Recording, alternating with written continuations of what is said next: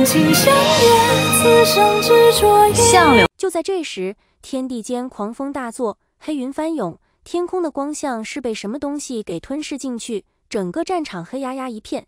如果不是在场的神族有灵力加持，那风的猛烈几乎瞬间可以把所有人卷上天空。有人说，好像看见了一只巨大的鲲鹏；有人说，看不清楚那是什么神兽，因为体型太过庞大，足以遮蔽住整个天空。隐约中，那只神兽的背上似乎站立着一个身着碧玉色衣裙的婉约女子，对着已经倒在地上一动不动的九命大喊：“九头妖，小九儿和我来接你回家啦！”那只神兽落在岛上，震动翅膀，在场所有的人都站立不住，被翅膀震动带来的狂风卷入海中，整个天空和太阳都被它庞大的身躯和翅膀完全遮挡住。霎时，天地一片黑暗。唯有九命像流倒下的地方，隐隐散发着一点幽幽蓝光。只听见那只神兽发出一声悠远浑厚的长鸣，继而再次展开双翅腾空而去。那绿裙女子仍然稳稳坐在神兽背上，身边似乎靠着一个人，又似乎什么都没有。距离实在太高太远，在场没有一个人能看清楚。待他们顶着狂风睁开双眼时，神兽已经展翅几千里。一瞬便腾空而去，消失在天的尽头。神兽一离开，被他遮去的天光便完完全全透了下来。黑云逐渐散去，狂风渐渐平静。众人听得目瞪口呆，仿佛跟随石先生亲身经历了那场血腥漫天的生死大战。时光荏苒，一晃又过去了数十年。南海归墟，在那片无边无界、四下白茫茫一片混沌的空间里。一只通体雪白晶莹的九头妖静静躺在混沌之中，四周有源源不断的气脉缓缓地输入他体内。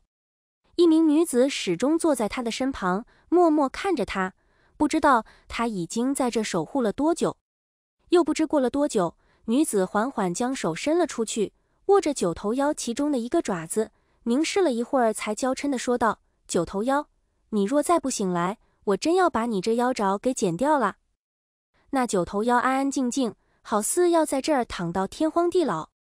女子说完，看了看没有任何反应的九头妖，又兀自笑了笑，将他的爪子轻轻放好，从自己的腰带子里掏出一个精致的玉瓶。年年都拿着归墟泉水，加上我的独家药材，为你研制新的药，也不曾听你说上一句谢谢。不过也是，从第一天你我相识，为你制药，为你喝我的血，你从未对我说过谢谢。你这家伙实在太没礼貌。你说吧，等你醒来了，你打算如何回报我？女子说罢，拧开瓶盖，将玉瓶中的药液缓缓洒在九头妖周身。药液晶莹剔透，散发着淡淡的异香。刚一接触到九头妖那通体雪白的皮肤，就尽数被吸收了进去。女子见状，开心道：“你永远是那么识货，永远不会浪费我做的东西。”这时。一个满头银发、气质出尘的年轻人蓦地在虚空之中出现，看上去不过二十左右。他对着女子唤了一声“娘亲”，女子轻轻向他挥了挥手：“快过来，跟你爹爹说说话。”年轻人走近，正要对九头妖说些什么，忽然发现九头妖的利爪微微动了一动。他惊呼：“娘亲，你看，爹爹醒了！”女子立即低头望去，果真。九头妖的爪子又动了两下，女子先是掩面，不敢置信的愣了一愣，旋即激动的扑了上去，唤道：“香柳！”几滴滚烫的泪不偏不倚滴落在九头妖的心口，泪珠一颗颗晕染开来，闪着淡淡的荧光。九头妖的身体也逐渐有了轻微的变化，先是头部一个一个的有了不同的反应，然后是爪子，然后是身子，最后是腿部。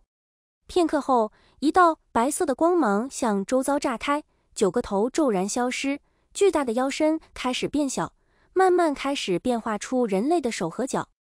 只见那通体雪白的腰身越变越小，一个完整的人身开始显现。女子屏住呼吸，凝着泪眼，一瞬不瞬地看着他从腰身变回人身，那张脸依旧俊美的妖异，两颗沉闷了许久的心开始疯狂跳动。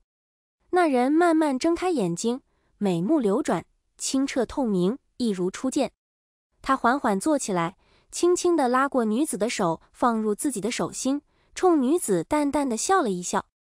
小妖，相柳，小妖泣不成声。旁边的年轻人欣喜地唤了一声“爹爹”。香柳将视线转移至年轻人身上，不敢确信地问：“小九儿？”“是的。”“过来，让我看看。”小九走到香柳身边，半跪下来，把脸靠近香柳，让他仔细看。香柳凝神注视着小九儿，拿手轻轻抚着小九儿的脸，问道：“当年我重伤濒死，是我的小九儿救了爹爹。”小九儿含泪微笑道：“是，是我和娘亲一起救了你。”香柳的眼里有点点荧光闪动，她极力控制着自己微微发颤的手，把小妖和小九儿紧紧揽入怀中。七日后，香柳和小妖带着小九儿离开归墟，一起返回了五神山海域的海底，那是他们的第一个家。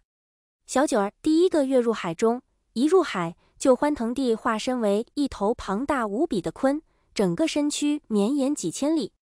玩了一会儿。小九儿感到身体庞大而笨重，行动起来似乎有些不够灵活，于是他瞬间又变身成一头蓝鲸，在海里，他时而浮在海面，时而穿梭前行，巨大的身躯如同一座浩瀚的山峦，它的尾巴有力地拍打着海水，激起了高达几丈的浪花。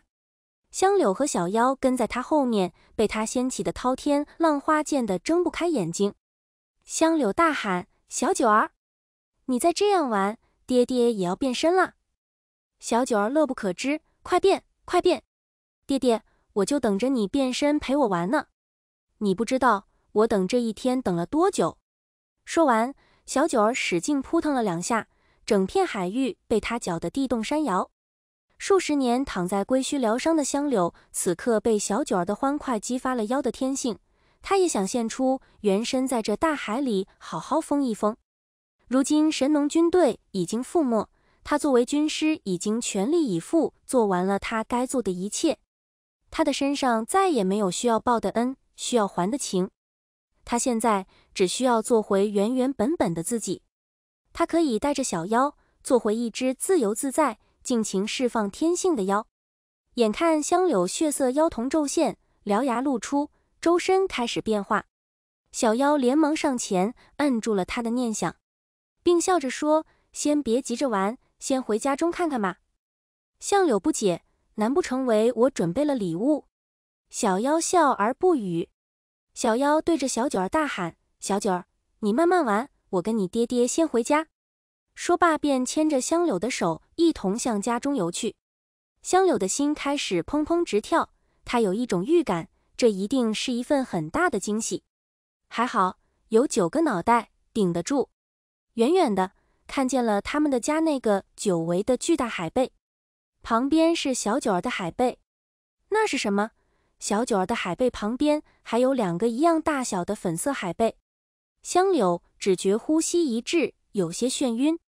未等他缓过神，粉色海贝中游出一对俏生生的双生小姑娘，皓齿明眸。顾盼生辉，约莫七八岁模样，身后跟着一个照顾他们的女鲛人。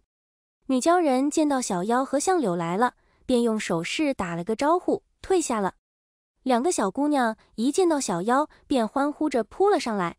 娘亲，香柳只觉得胸口轰然作响，九个脑袋受到前所未有的冲击，面对千军万马时，他的心也不似现在这般跳得如此之快。